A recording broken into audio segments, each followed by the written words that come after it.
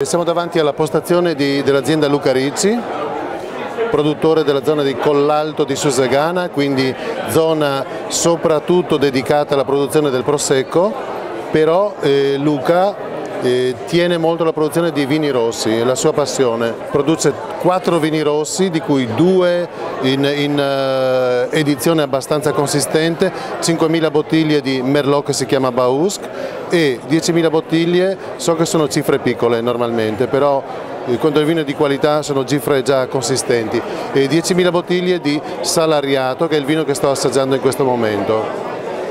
L'azienda opera un'agricoltura eh, molto sensibile, sostenibile, si sta attenti a non inquinare, i trattamenti antifungini non lasciano residui nel vino, quindi c'è molta attenzione anche a questo. Nel bicchiere ho, ho il salariato. Salariato è il tipico taglio bordolese per chi conosce il gergo del vino, in pratica del Merlot, eh, Cabernet Sauvignon e Cabernet Franc prende il nome da Bordeaux dove si, usa questa, cioè si usano normalmente queste uve per fare il vino.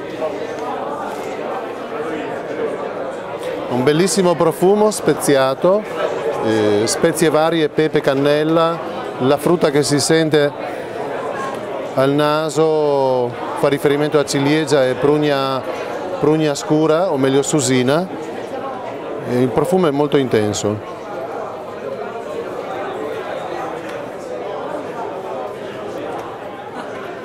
coerente in bocca, ripete gli stessi descrittori dell'olfatto, vino con una buona energia, eh, abbastanza intenso, ha un buon allungo e chiude, eh, chiude con molta personalità, una bella, bellissima versione di vino.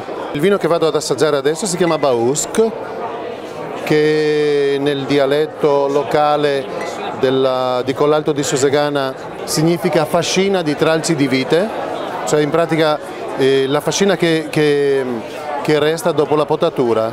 Una volta veniva usata per far fuoco e quindi per far da mangiare. Questo è un merlot in purezza, le uve sono solo merlot, la resa per ceppo di vite è di circa 700 grammi, quindi 6-7 grappoli, c'è una, una, selezione molto, eh, molto attenta per ottenere della grande uva e quindi di conseguenza un grande vino. L'annata che sto assaggiando è 2006 ed è una eccellente annata, il vino è stato affinato in legno fino all'anno scorso, poi è stato messo in bottiglia per un periodo in cui si smussa e si affina. Vado ad assaggiarlo. Ha i profumi caratteristici dei, dei Merlot che si ritrovano in tutti i Merlot del mondo, normalmente si sono fatti bene quindi prugna, lampone, fragola, ciliegia molto matura. In bocca gli stessi profumi del naso, molto intenso. C'è anche una, un riferimento alle spezie, specialmente a tabacco biondo e a corteccia di liquirizia, la, la, la peluria che c'è attorno al bastoncino. È un vino di grande personalità ma soprattutto di grande finezza, come deve essere un grande Merlot.